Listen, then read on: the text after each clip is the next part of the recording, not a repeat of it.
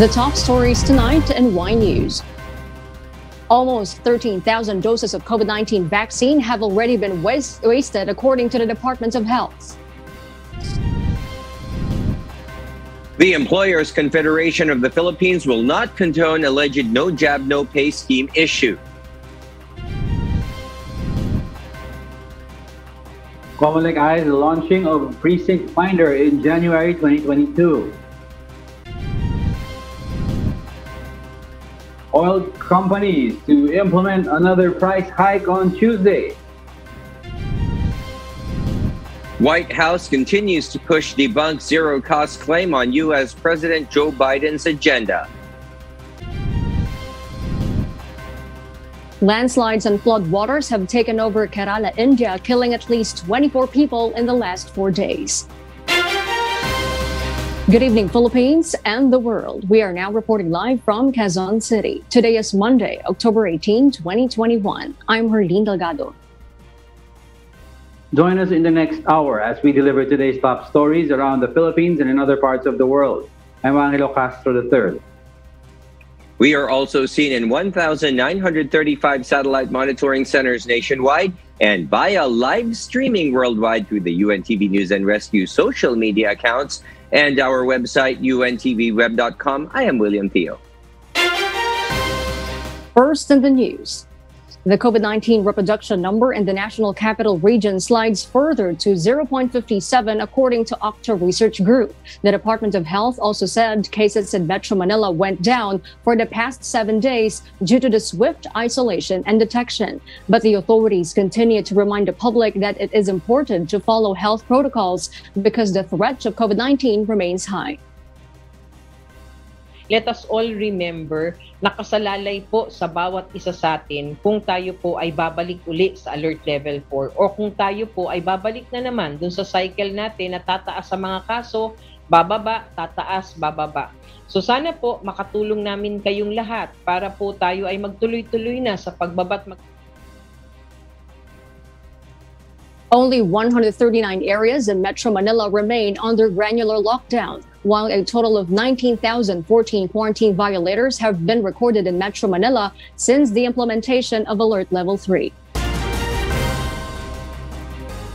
As the election season draws near, candidates are already in the process of making their presence felt, but the Department of Interior and Local Government cautions them from conducting events and gatherings. Rosalie Coz details why.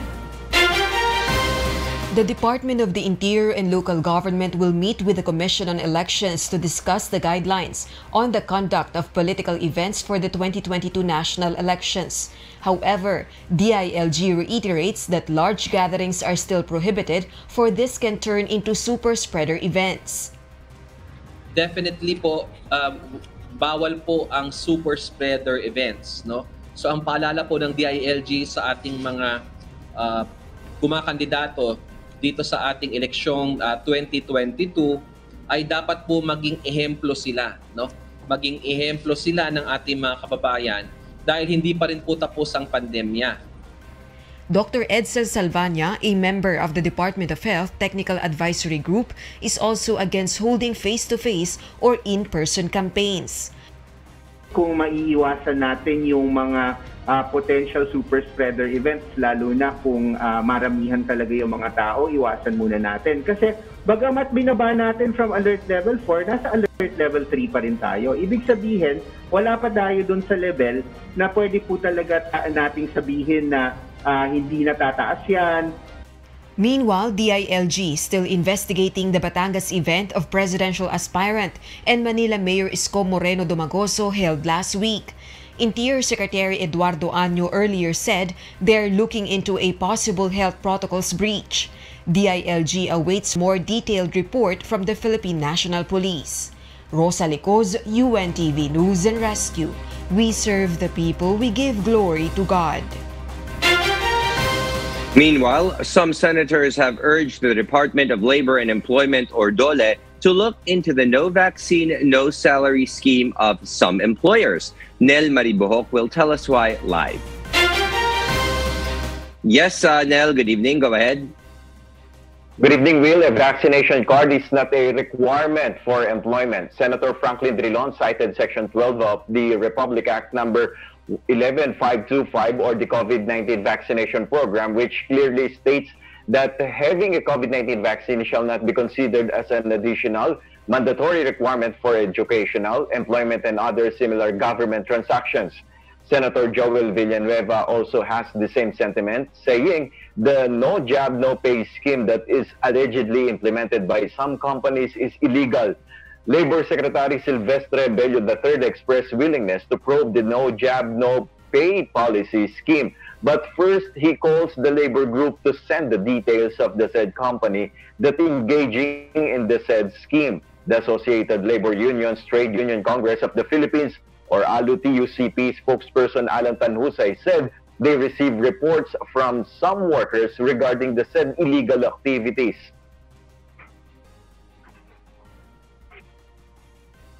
Meron kasi kaming natanggap na report at uh, ipinasa na namin ito sa Department of Labor Employment na nagsusumbong sa amin yung mga manggagawa at sinasabi nila hindi raw sila pinapasahod at hindi binibigay yung kanilang sahod hanggang hindi sila nagpapakita ng complete vacant card doon sa kanilang employer.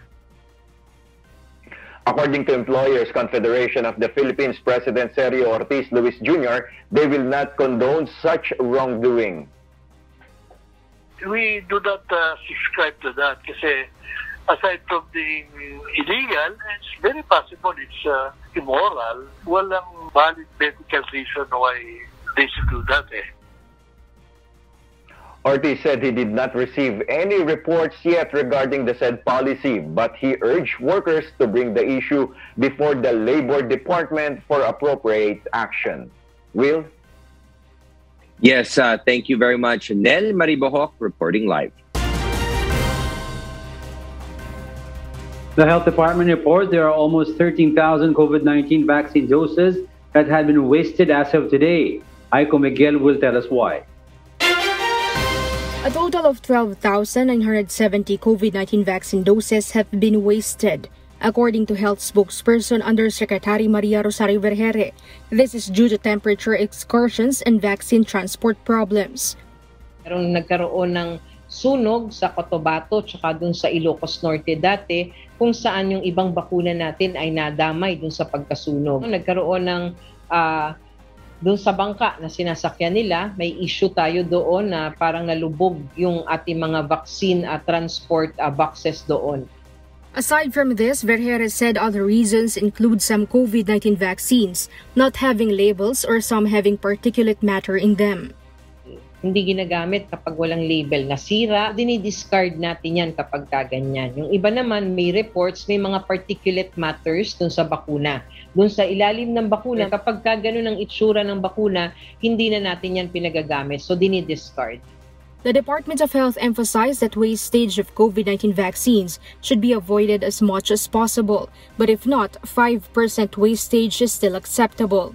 The Health Department reminds there are ways to reduce vaccine wastage. This can be minimized by proper stock management, developing a microplan to ensure efficiency of immunization service delivery, monitoring and recording cold chain temperature for each cold chain equipment twice daily, including weekends and holidays, recording vital information when receiving, storing, and distributing vaccines, monitoring, maintaining, and routinely repairing cold chain equipment, performing the shake test to make sure that vaccines have not been frozen, strictly following the standard procedure for transporting vaccines and others, Meanwhile, based on the National Task Force Against COVID-19's report on Saturday, the Philippines has already received 91.3 million doses of COVID-19 vaccines.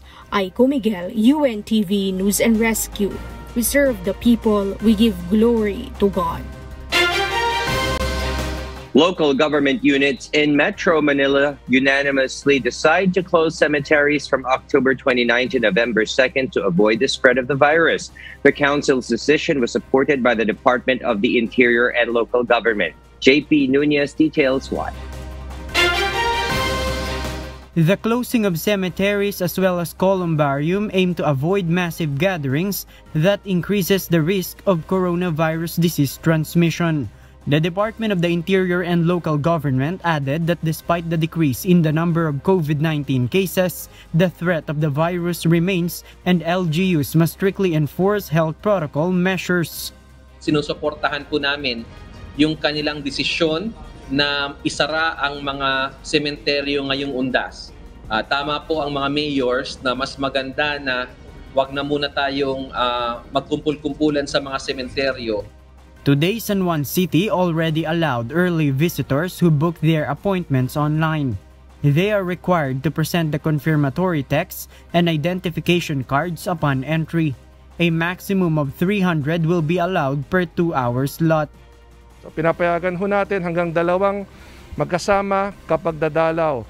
Ito ay dahil ang ating simenteryo ay posibleng magkasikip-sikipan kung sakaling masyadong marami po ang dadalaw at yung pong ayaw natin mangyari lalong-lalo na ngayon na bagamat tayo po nasa alert level 3 na gusto nating tuluyan pang bumaba ang bilang ng mga kaso dito po sa San Juan at syempre sa buong Metro Manila at sa buong bansa. Meanwhile, the Parañaque City also opened its cemeteries for early visitors. May mga briefing na rin tayo sa mga security na yung health protocol must be properly observed. Hindi po muna sa open space, wala na tayong face mask, wala na, hindi po po pwede. Kinakailangan pong implement pa rin natin yung simple health protocol by wearing face mask pa rin po.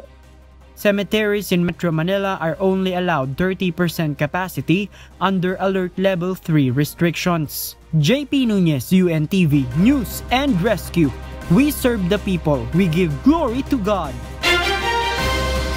Meanwhile, the Department of Health, or DOH, reported 6,943 new COVID 19 cases today, bringing the country's total COVID 19 cases to 2,727,286. Total recoveries climbed to 2,573,161 after 19,687 more patients survived from the disease. The DOH also reported 86 new fatalities, pushing the death toll to 40,761. Meanwhile, the overall global COVID 19 caseload has reached to 240 million. 754,836, while the deaths have surged to 4,900,140, according to the Johns Hopkins University. The United States is still the worst hit country with the highest number of cases and deaths at 44,934,620 and 724,323, respectively, according to the CSSE, followed by India and Brazil.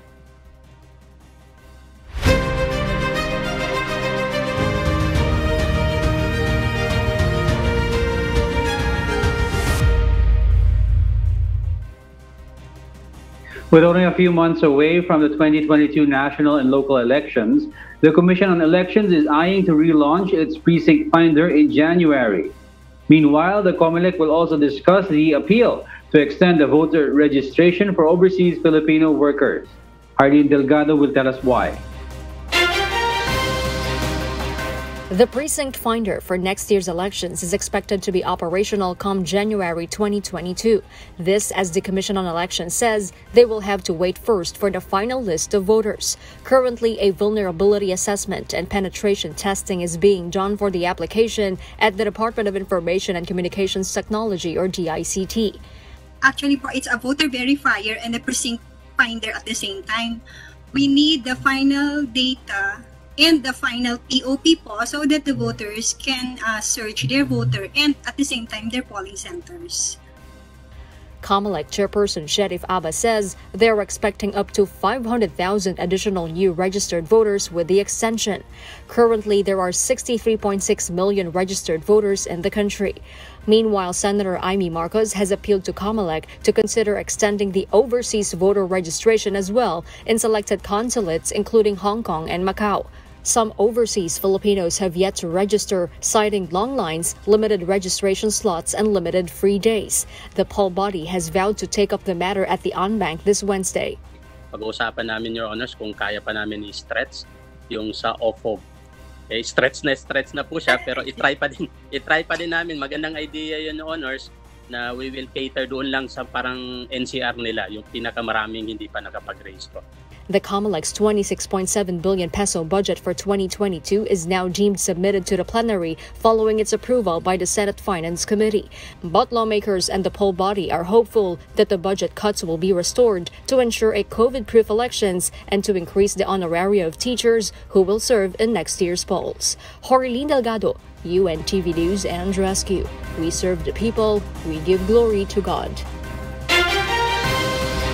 The Aksyon Demokratiko headed by presidential aspirant Manila Mayor Isko Moreno Domagoso is not worried over the recent resignation of their party member, former Solicitor General Florin Hilbay. Dante Amento tells us why live. Yes, Dante, good evening. Good evening, Harleen. Aksyon Demokratiko Party Chairman Ernest Ramel, in a statement, says though they have lost a good member in the person of former Solicitor General Florin Hilbay, they gained thousands of members belonging to different and bigger political parties. Ramel further added they are still receiving queries and applications from other candidates even after the filing of the certificate of candidacy. These allegedly prove that the party is continuously getting support and gaining strength. Mayor Domagoso stresses they are surprised by the support they received even from the people. Tuloy-tuloy lang. Dumarami pa. Oh. Nagulat nga ako eh. Daming billboard eh. Straightforward ka. I don't know them. I really don't know them. Pero dami kong billboard. Yan ang katotohanan. Hindi pwedeng ikubli.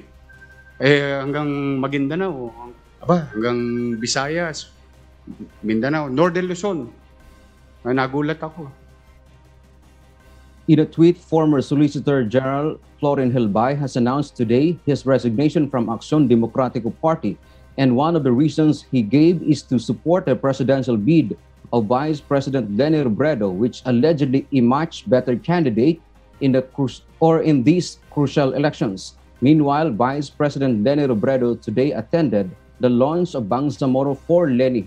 This is a group of Muslim women supporting her candidacy for president in next year's election. During her visit to Marawi City on Monday, Robredo also looked into the previously war-torn city as the end of the Marawi siege marks its fourth anniversary on October 23rd. Meanwhile, Harleen presidential aspirant Leody de Guzman disclosed that he is willing to withdraw his presidential bid if Vice President Leni Robredo vows to push his platforms. And that's the latest live from Quezon City. Back to you, Harleen. Thank you, Dante Amento, reporting live. Another round of oil price hike will be implemented on Tuesday. Filipino Shell Petroleum Corporation, Petron Sea Oil Philippines Incorporated, and Clean Fuel will increase prices of gasoline, diesel, and kerosene effective 6 a.m. of October 19. This will be the eighth straight week of increases. The Makabayan bloc in the House of Representatives is urging President Rodrigo Duterte to certify as urgent the proposed bill that seeks transparency in determining price increases of petroleum products in the country. The data from the Department of Energy shows a total net increase of 17 pesos and 85 centavos per liter for gasoline, 16 pesos and 50 centavos per liter for diesel, and 14 pesos and 19 centavos per liter of kerosene. Transportation Franchising and Regulatory Board issues show cause order versus EDSA busway consortiums due to fewer bus deployment. The Department of Transportation plans to recommend increased passenger capacity in public utility vehicle. Asher Cadapan Jr. explains why. The Land Transportation Franchising and Regulatory Board recently records as low as about 120 bus units only from each of the two bus consortiums plying in the EDSA busway. This is while the consortiums agree to deploy a total of at least about 300 to 450 bus units. The agency says the shortage has correlation with some reports they receive that some bus companies have not been releasing the salaries of their bus drivers. This is despite receiving the payout from the service they rendered under the service contracting program where drivers should receive 30% of it. LTFRB Chairman Martin Delgra III, however, emphasizes that it is the company's obligation to pay their employees. Delgra also confirms that the fund for their payables have already been made available to the land bank. But delays in the processing of transfer of funds to the accounts of the payees are being encountered on the bank's end. Today, noon, I have called the attention of Land Bank again to triple their uh, daily output doon sa pinoprocess nila yung tinatawag na ADA, no? yung authority to debit account uh, para mapabilis yung pagdi-debit ng mga accounts of the uh, amounts that we have given to Land Bank to be credited. With this, the LTFRB orders the consortium to explain why their agreement should not be cancelled, suspended, or be fined from the incident. UNTV News and Rescue tried to get the side of at least one of the consortiums, but they have yet to provide any information. Meanwhile, the Department of Transportation finds ways to help the drivers and operators of public utility vehicles against oil price hike instead of fare increase as ordered by Transportation Secretary Arthur Tugade. Transportation Assistant Secretary Mark Stephen Pastor says the DOTR has programs for affected sectors, including the service contracting. The agency is also looking to recommend to the Interagency Task Force for the Management of Emerging Infectious Diseases to increase the passenger capacity of PUVs. The increase will be significant. While I could not give you the exact figure po at this point in time, dahil ang gusto po ni Secretary Tugade na ang ating magiging proposal sa IATF ay hindi lamang po based on technical expertise but also yung medical backup by medical studies na uh, safe po itong pag-increase natin. The DOTR has also been coordinating with the Department of Energy in terms of possibly providing discounts in gasoline stations and fuel subsidy for drivers. Asher Kadapan Jr., UNTV News and Rescue. We serve the people, we give glory to God. Some 2.9 million customers of Maynilad Water Services Incorporated will be affected by the water service interruptions next week. This is due to the pipe realignment for DPWH flood control project from 25 to 85 hours between October 25 to October 28, 2021. The service interruptions will cover Las Piñas, Makati, Manila, Paranaque, Pasay, Bacoor, Cavite City, Imus, Kawit, Noveleta, and Rosario in Cavite. Customers are advised to store enough water that is enough for four days water service interruption, especially in areas close to pipe realignment. Kaya rin po namin maagang inabisuhan yung aming mga customers na maapektuhan para naman po may ma enough time pa po para makapag-ipon sila nung gagamitin nila for that 24-hour duration na mawawala ng tubig. So, ang nakikita po namin, yung deployment po ng water tankers ay makakonsentrate po karamihan doon sa mga areas sa Sampaloc, Manila na halos tatlong araw po mawawalan sila ng tubig ng tuloy-tuloy. Maynilad will deploy 60 water tankers in the affected areas. Priority in water ration is hospitals and other medical facilities affected by water service interruptions.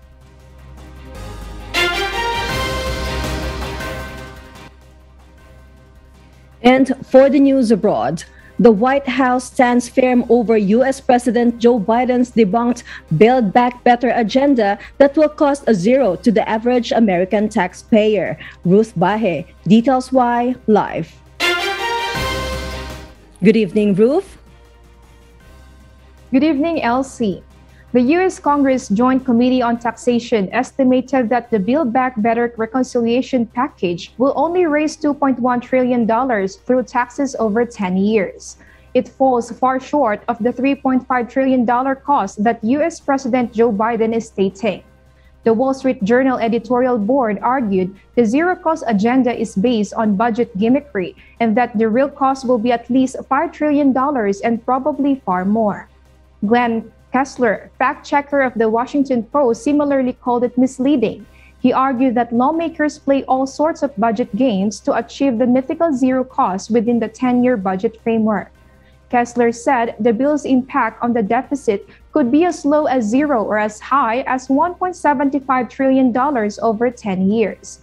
The White House Twitter post over Biden's Build Back Better agenda sparked a lot of criticism from netizens. However, Biden's administration have repeatedly claimed that it will cost $0 due to other revenue generating schemes. It will also be offset by tax increases if big corporations and the wealthy will pay their fair share. Back to you, Elsie. Thank you, Ruth Bahe. Australia's Chief Medical Officer Professor Paul Kelly said that from Tuesday, all fully vaccinated individuals living in the South Island of New Zealand can travel to Australia. This is if they provide a negative PCR test within 72 hours of departure.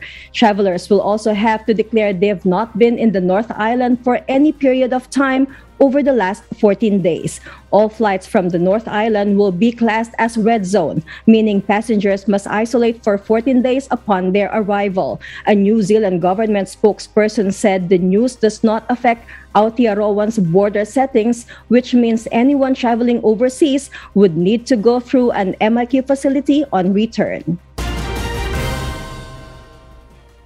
Western Australia celebrates as they reach a remarkable fundraising record for this year's telethons for the state sick children. Mavian Dog details why live. Go ahead, Maeve. Elsie West Australians achieved a record breaking result of more than $62 million for sick children in Western Australia. This toppled last year's record of $43.6 million, which now marks the 12th consecutive year that the telethon has broken its previous year's record. This year saw big donations and acts of fundraising efforts from various organizations, including the state and federal government.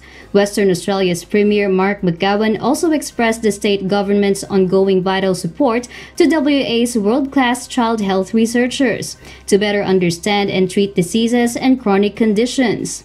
Telethon Chairman Richard Goyder described the support received as inspiring and also praised the beneficiaries for doing great things with huge amounts of passion and energy. Telethon was first established in 1968 and has since been an annual event that usually lasts for 26 hours. Elsie? Thank you, Mavian Dog. Landslides and floodwaters have taken over Kerala, the southwest state of India, killing at least 24 people in the last four days. Marvi Delphine will tell us why live. Yes, Marvi? Since the heavy rainfall in Kerala, India began on Friday, many rivers swelled, causing floods and destroying and sweeping away homes, forcing residents to evacuate. The Indian Meteorological Department stated that low pressure areas in the southeastern Arabian Sea have caused such heavy rainfall and was expected to ease today. Of the 24 deaths reported, a family of six, which included a 75 year old grandmother and three children, were killed after after their home was flooded. An additional eight children were also said to have died, with three found buried in debris in the Idukki district. Elsie, over 100 relief camps have been established across Kerala catering for evacuees. Military helicopter services have also been deployed to aid in providing supplies to those trapped and unable to reach relief camps. Meanwhile, the Prime Minister of India, Narendra Modi, tweeted his condolences to the many families affected by the floods, whilst also announcing the readily available help of officials. Elsie? Thank you, Marvi Delphine. And those are the reasons behind the news in other parts of the globe. I am Elsie Marcos, live from Auckland, New Zealand. Good evening. The Philippine Movie Press Club presented the Best Morning Show host to Kuya Daniel Razon at the recent 34th PMPC Star Awards for Television. Angela Lagunzad, Angelo Diego Castro III, Rina Villamor Camara, Beth Santiago, Erica Kikay Honrado, Ninang Riza Matibag Muyot were also given recognitions, as well as mainstay doctors Dr. Joseph Lee, Sara Barba Cabudil, Janice De Vera, and Bong Santiago. The award is based on contents or programs aired in 2019. Kuya Daniel meanwhile expressed his appreciation for the prestigious award. Sa bumubuo po ng Philippine Movie Press Club. thank you for this award. It is with pleasure that I, on behalf of Good Morning Kuya co-hosts, receive this wonderful recognition. I believe that PMPC knows and recognizes the many works that come into broadcasting a show. This award means a lot to the show and the rest of the cast of Good Morning Kuya. And I would like to mention my appreciation to my co-hosts who have been there day in and day out, and the men and women who are working relentlessly in ensuring that the show airs daily. I appreciate all your hard work and dedication. Most importantly, salamat po sa Diyos for this. To God be the glory. And before we close, we will leave you with a word, giving glory to God. From the book of Romans, chapter 12, verse 14, it says, Bless them which persecute you, bless and curse not.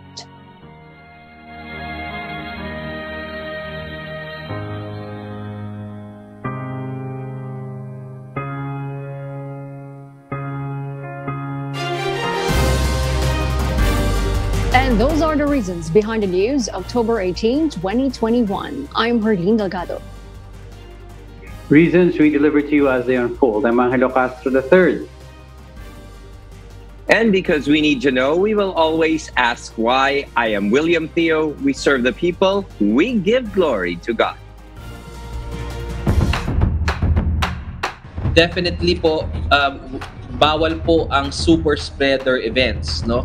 So ang paalala po ng DILG sa ating mga uh, kumakandidato dito sa ating eleksyong uh, 2022 ay dapat po maging ehemplo sila, no? Maging ehemplo sila ng ating mga kababayan dahil hindi pa rin po tapos ang pandemya. Pag-uusapan namin, Your Honors, kung kaya pa namin i-stretch yung sa OFOG. Eh, stretch na stretch na po siya pero i-try pa din i-try pa din namin magandang idea yun honors na we will cater doon lang sa parang NCR nila yung pinakamaraming hindi pa nakapag-raise po. Hindi ginagamit kapag walang label na sira. So, dinidiscard natin yan kapag kaganyan. Yung iba naman, may reports, may mga particulate matters dun sa bakuna. Kapag ka ang itsura ng bakuna, hindi na natin yan pinagagamit. So, dinidiscard.